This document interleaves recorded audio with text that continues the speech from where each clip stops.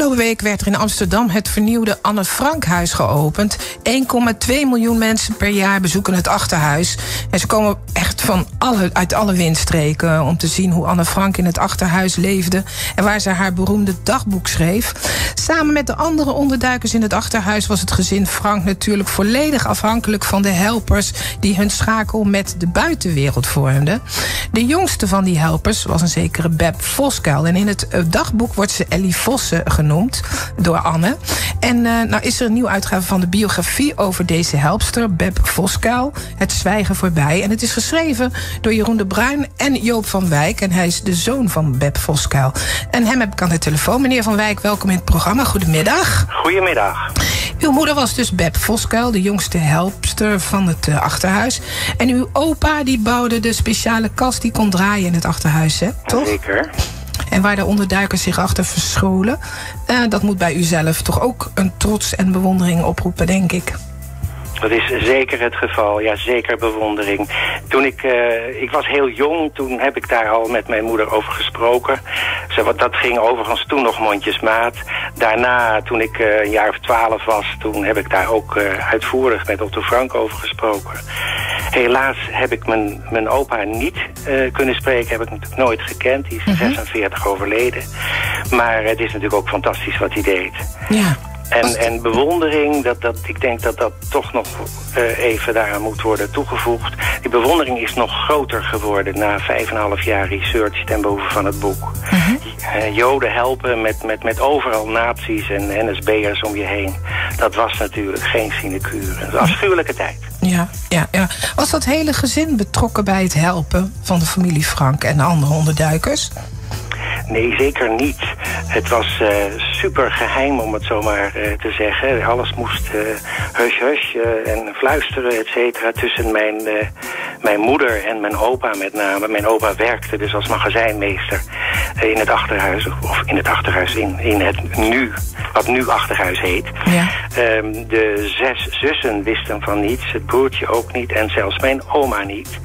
Want het was gevaarlijk in die tijd, echt gevaarlijk om mensen te vertellen uh, waar je mee bezig bent. Want ja, je, je, had gewoon de NSB'er en de verraders had je om je heen.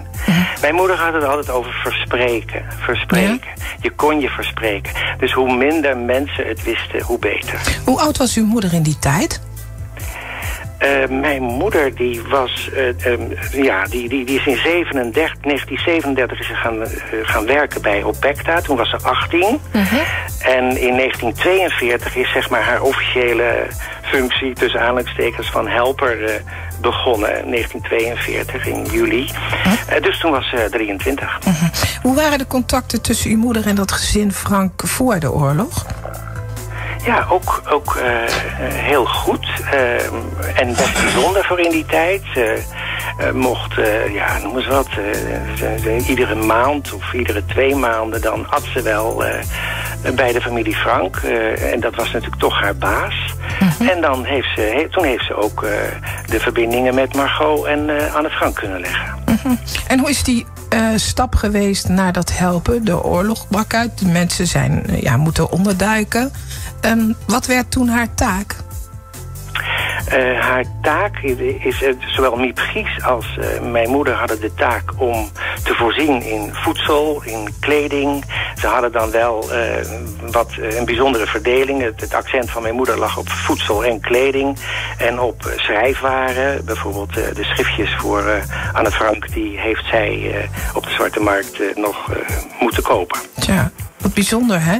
Ja, dat is, dat is het ook. Dat ja. is het ook. Ze heeft nooit kunnen vermoeden dat dat nog ooit eens zo uh, in nee. de geschiedenis uh, een plaats zou krijgen eigenlijk. Nee, hè? ze heeft het ook, ook altijd gebagatelliseerd. Dus het, is, het was zoiets van, nou, dat deed je gewoon. Dat was gewoon vanzelfsprekend. En dat dit boek zo beroemd is geworden, ja, dat is... Er zijn zoveel boeken geschreven. Dat was altijd haar houding. Uh -huh. Wat, wat vertelde zij over Anne Frank zelf? Uh, ja, een heel spontane, uh, soms wat te spontane uh, puber. Maar ja, als je puber -hmm. bent en dan ook nog ja, twee jaar lang gevangen moet zitten... en met iedereen moet dealen en, en je ook nog je dagboek wil schrijven... dan, ja, dan, dan gebeurt er natuurlijk nog wel het een en ander. Hè? Dan, dan ontstaan mm -hmm. er toch allerlei spanningen in zo'n achterhuis. Ja, nou was het natuurlijk uh, inderdaad, u noemde het al, voor uh, uw moeder natuurlijk een enorm gevaarlijke klus. Ze was ook een jonge vrouw natuurlijk. Um, ging dat wel altijd redelijk goed? Want het was toch wel heel gevaarlijk? Of ja, ging dat ja. af en toe nee, wel nee, bijna u, mis? Nee, u stelt het uh, goed. Het ging, het ging bijna altijd goed. Maar het ging niet altijd goed. En, en daar mo, mo, moest dan ook zeg maar assertief op gereageerd worden. En ik heb, ik heb één anekdote die ook in het boek staat. Dat is, um, ik heb meerdere anekdotes staan, maar eentje die ik dan nu uh, relevant vind om te vertellen. Dat is dat ze bijna gepakt werd op de Westermarkt met uh, allerlei voedsel -huh. uh, op haar, in zakjes op haar fiets hangen. Ja. En, en dat, dat, was, dat was in die tijd, was dat toch wel erg veel voedsel. En toen kwamen er twee SD'ers op haar af. En die, ja, die vroegen de helft van dat voedsel. Mm -hmm. Nou, dat was natuurlijk heel vervelend. Want ze had ze nodig voor tien man uh, sterk. Ja. Eigenlijk twintig, hè, want ze had een lang, een groot gezin ook. Daar moest ze ook voor, uh, voor ploeteren om het voedsel te krijgen. Maar goed, ze is daar op een hele slimme manier van afgekomen... doordat ze vermoedde dat ze gevolgd zou worden. Dus ze is een andere weg gaan fietsen. Hoor, en, terwijl haar doel was het achterhuis. Ja. Ongelooflijk, hè? Ja, ongelooflijk. Ja. Heel spannend allemaal. En, uit, en ook ja. achteraf traumatisch gebleken. Ja, want uiteindelijk is het natuurlijk met de familie Frank ook slecht afgelopen... toen ze zijn opgepakt door de Duitsers. Um, wanneer is uw moeder daarover gaan vertellen? Um, ik ben toen ik een jaar of tien was, toen ben ik in gesprek, dus aanhalingstekens, gekomen met, uh, met mijn moeder. En over deze hele, uh, ja, de toestanden, de traumatische ervaringen. En langzaam maar zeker, ja, ongeveer toen ik een jaar of 12, 13 was, toen is ze uh, dit soort zaken gaan vertellen. Dus zeg maar uh, de, de arrestatie en, mm -hmm. en de, de, de overval van Silberbauer, hè, een SD'er... Ja. die de leiding had van, uh, van de overval met, met, met wo zien die Joden. Mm -hmm. Nou, dat is natuurlijk traumatisch, dat vergeet je nooit meer. En dan ook de angst van je wordt zelf gepakt en onze vrienden worden gepakt. Hè. Mm -hmm. Kon u, kon u merken aan uw moeder dat die angst bij haar is gebleven later oh, in haar leven? absoluut bij haar gebleven. Ze heeft het nooit meer vergeten. Nee. nee. Het is, het is uh, absoluut heel emotioneel. -huh. U heeft al die herinneringen van uw moeder kunnen vastleggen in deze biografie. Of heeft u ook nog bepaalde zaken weggelaten die misschien te traumatisch waren? Nee, ik heb, um, ik, Jeroen en ik, hè, de, ja. de co-auteur, ja. die hebben zeker niet uh, de zaken weggelaten. Wat we te weten zijn gekomen, dat hebben we vastgelegd. Uh, we hebben gesprekken gevoerd met... Um, uh, een tante van me die, uh, die gelukkig openheid van zaken wilde geven. We hebben de ex-verloofde van mijn moeder, Bertus Hulsman, uit de oorlog. Dat is dus ook heel bijzonder dat we die man hebben kunnen vinden. Die heeft ook zijn ervaringen um, gegeven. Mm -hmm. En alles wat ik me kon herinneren, zowel mijn, broer, mijn beide broers... Die, dat hebben we vastgelegd en we hebben werkelijk niets uh, niet vastgelegd. Dat we, wat we, niet, we zijn er niet omheen gegaan, we hebben vastgelegd. Mm -hmm. Dat was voor uzelf ook wel confronterend dan? Het was confronterend, zeker confronterend... maar aan de andere kant ook wel weer uh, een opluchting. Dat je het eindelijk uh, in de context mocht opschrijven. Mm -hmm. als, u nou, opschrijven. als u nou in het achterhuis komt... Dat, uh, dat moet u een heel apart gevoel geven als u daar rondloopt. Dat is, dat is absoluut...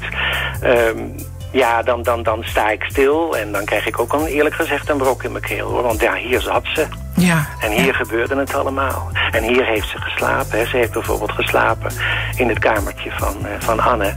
Een nacht, een van de nachten. En toen heeft ze dan ook ervaren hoe, de, hoe dat is. En hoe, hoe die geluiden, hoe, die, hoe, hoe dat ook uh, een, een angst op je, op je aflaat. Ja. In ieder geval hebben we nu dus het boek dat we even in de tijd terug kunnen gaan. En dat is nu uh, binnenkort verkrijgbaar. Of is dat al verkrijgbaar? Nee, het is hartstikke verkrijgbaar. Het, eh, het, het, het, eh, boek eh, met Voska het Zwijgen voorbij... dat is al vanaf eh, 2015 in de markt. Die, Ja. En, het, eh, en ik heb een Engelse versie, een Engelse editie. Ik ben inmiddels eh, zelf de publisher geworden. En Mhm. heb het boek eh, Anne Frank, The Untold Story. Dat is een directe vertaling van het boek wat ik net noem. En dat is in september op de markt gekomen van dit jaar. Oké. Meneer Van Wijk, ik bedank u, Joop. Ik bedank je voor Ja, het gesprek. En wij komen vast op dit onderwerp nog eens een keertje terug. Dank u wel. Ja hoor, u, u vriendelijk bedankt. Dag. Dag.